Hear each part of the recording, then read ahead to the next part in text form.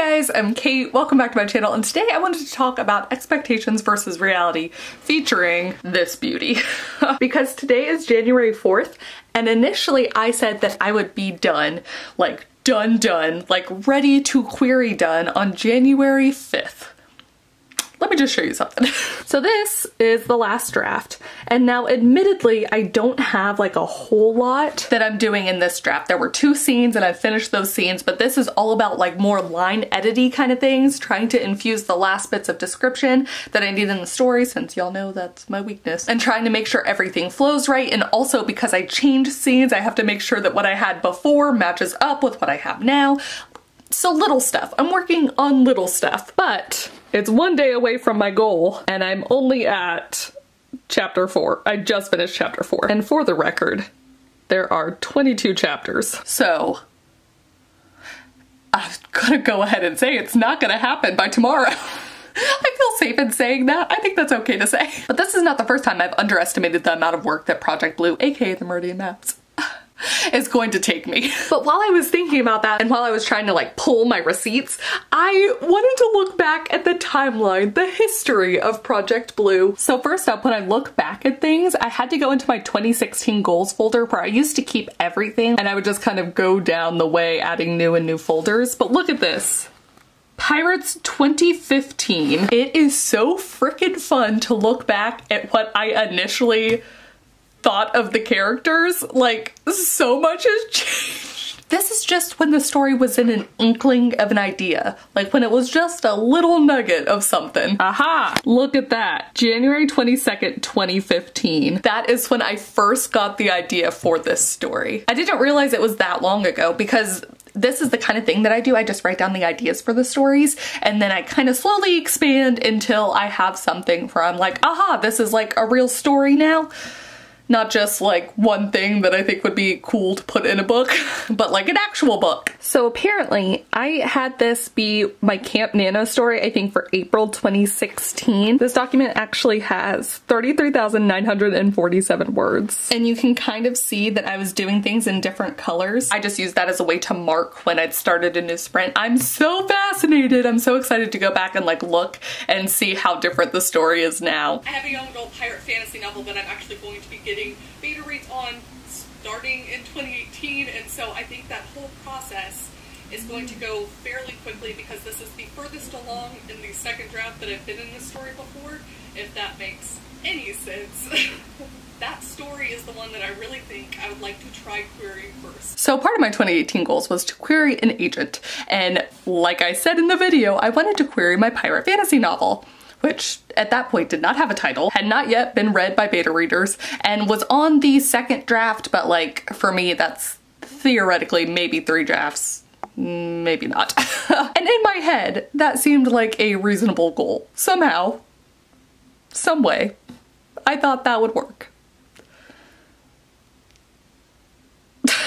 and then on the 25th of February, this happened. If everything goes according to schedule, and I've been trying really hard about being more realistic in how I schedule things and- Girl! I've been trying really hard to be more realistic. I, there are a few things in this world that I think just sound like me, and that's one of them. so I think if I give it to beta readers for almost the entirety of March, I don't look at it, I can fix it again in April in a month and then beta readers again in May. So I'm hoping I'll be ready to query it June, July-ish. Excuse me? Excuse me? what? Oh my gosh. Trying to be realistic. Oh, I think I'll be done in like three months. Oh my gosh. But hold on just just wait. because of course that's not what happened. Not even the first part of that plan happened. Because the dreaded timeline errors happened. So I posted that in March and then aha, I finally printed out my novel at the end, the very end of March. And because I then had so many timeline errors, what I did was that I rested the novel through April and then I reread it myself in May. Dot dot dot. And I drafted again and I actually didn't receive feedback from my beta readers or I didn't make the video about it, which was about that time period period until June. So already my plans to like be ready to query in June or July totally out the window. Totally out the window. And that was me being realistic. I can't. And then even though I didn't talk about it a whole bunch, I did write a query letter for the Meridian maps and I posted a video about that on September 25th. I actually did that for Pitch Wars and I wrote a synopsis too. I did not get accepted into Pitch Wars, but it was great practice. And I count that as another draft of the story that I did ahead of Pitch Wars because I, I realized the story needed it.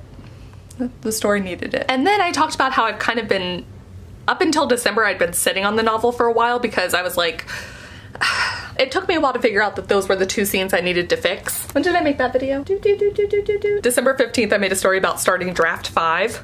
I feel like at some point those numbers are wrong, but that's okay. How many drafts have I done of this story? I don't even know. Just never ending drafts. Never ending. It's never ending. But I'm basically saying all of this to make the point that especially as I truly am nearing the time when I'm done done, as done as I can make it, you know, even now I have a timeline where I'm like, oh, I'll totally be able to do it in three weeks and it'll be fine. No, It'll take more than three weeks. And that's okay because I'm making this story as good as I can make it. And if it requires more than the time that I originally think, well then it needs to have that time. The story begs for the time and who am I to deny it that time? And that's kind of the positive note that I want to end on just because I really do think this story is just the best that I can make it. And now I am going to give it to beta readers after this draft, but to be honest, I really don't think there's a whole lot of changes that will need to be made. I've had people reading it along the way and I think it's just where it's at. I think it's I think it's really getting there, you know? Like it's practically there. It's just this, I don't know.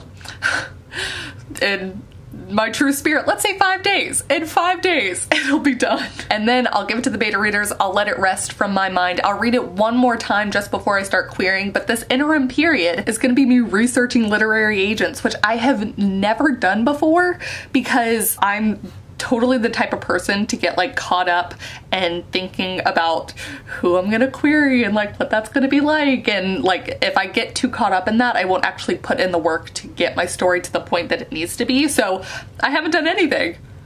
I haven't done any research. So yeah that's what I'm looking forward to Oh, one other thing I want to look up. Nine months ago, on my video where I was printing out my story, Akayla Rain Reads said that I should call it Project Blue until I figure out the title. And I thought that was so genius and it's been affectionately referred to as Project Blue ever since, probably for too long because now it does have a title, The Meridian Maps. But hey, shout out Akayla Rain Reads, thank you so much. And finally, please comment down below and let me know if like me, you constantly struggle with your expectations versus reality, especially when it comes to writing. I'm sure that happens in a whole lot of creative endeavors, but noveling specifically, I don't quite have this problem with either freelance work or like even short stories. I don't have this problem.